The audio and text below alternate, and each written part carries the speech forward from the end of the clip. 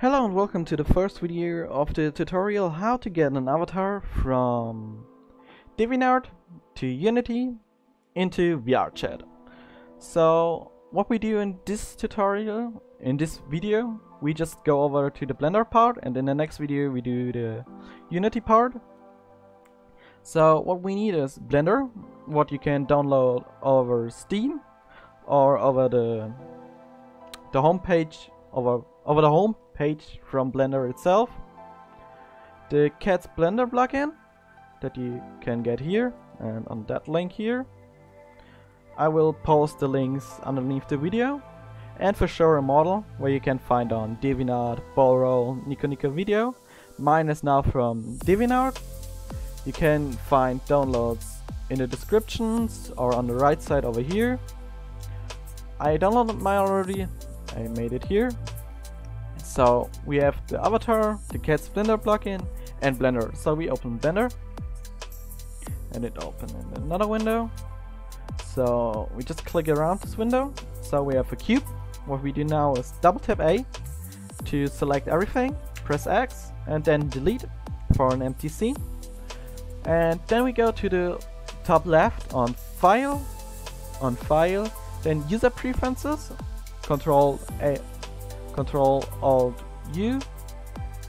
Then open this window. Here we click on add-ons. There install add-on from file. Now we need to look where we saved it. I saved it on the desktop. Double tap that and wait. Then we got that this window. And there we have here 3D View Cats Blender plugin. And we select this field need this time, so there it is. Now we get the tab cats over here. Now we have, I made it bigger, so. And now we click on import model, go on the desktop, I save mine on the desktop. On the model package, on my model now three different ones. I chose this one, so now you get your avatar.pmx. Then you open this so there we go. Then we have it in-game. And uh, not in-game, in Blender. So what we do now is we can click on fix model, but I will do a full body avatar. So I go on this little sign over here and click here on apply full body tracking fix. So I just select this and then I click on fix model. So, dun So there it is. Now the avatar have his textures. So everything what the full body thing is doing is just turn the spine bone around and add those two bones. That's all what it does. But I just want to make it full body for now and that you know how it works. Otherwise you just don't have it full body and yeah. So then we click here on model options then we go here to uh, to the translation tab. We can translate the shape keys, the bones, the objects, the materials. I translate everything. It will just translate the bones here. Uh, the bones are here. And the shape keys over here. What I do now is the eye tracking. That's the tab underneath. What we do have here is the head bone is the head bone, the left eye is eye left, right eye is eye right, blink left is blink 2, and blink right is blink right. There is something wrong by me. Um, that need to be... I think blink wink left, okay. Um...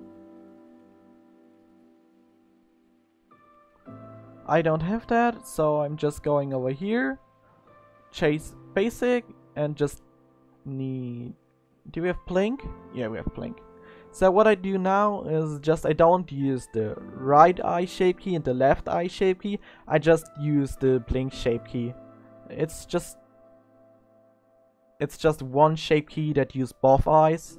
Otherwise you just have the shape key that only use the right eye and the shape key only use the left eye, but I use now the one for only one eye, uh, for both eyes.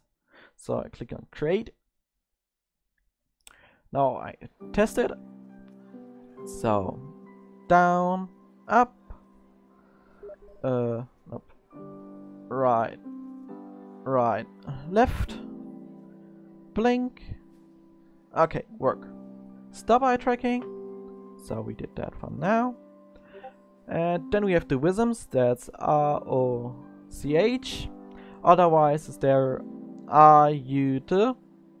Both of them work. So we create the visemes.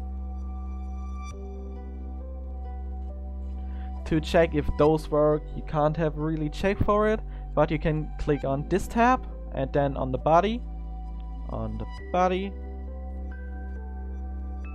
and shape keys and then you see VRC blink VRC AH CH though uh, those shape keys we need later in Unity so make sure you have them so what we do now is going again here and do that back so the avatar is ready for Unity now so what we do now is click on file um, no, before we do that, I want to say something to you. We have over here above the tris. Make sure that you're under, I think, 70,000? 70,000, 80,000? Somewhere around that is the limit. So make sure your avatar is underneath it to move it over into Unity. When you want to do that, you can do it over the decimation tab or just go over the materials and then select the body and do it all by hand. But most times the avatar are under this limit and you don't need to do something. When you wanna see that, I can make a tutorial to it also. So we go on File, Export, then we chose an FBX because Unity is working with an FBX or I think OB something else, but we chose FBX. Then we click on desktop and then I go back to the files where my avatar was inside. I call her Red, give her a name, YouTube, Red Girl, and then we export it. So that's everything you have to do in Blender. So hope to see you in the next part of the video where we drag this avatar into Unity and then finish it and drag it into VRChat. So see ya guys, leave a like and maybe leave a subscribe. See ya!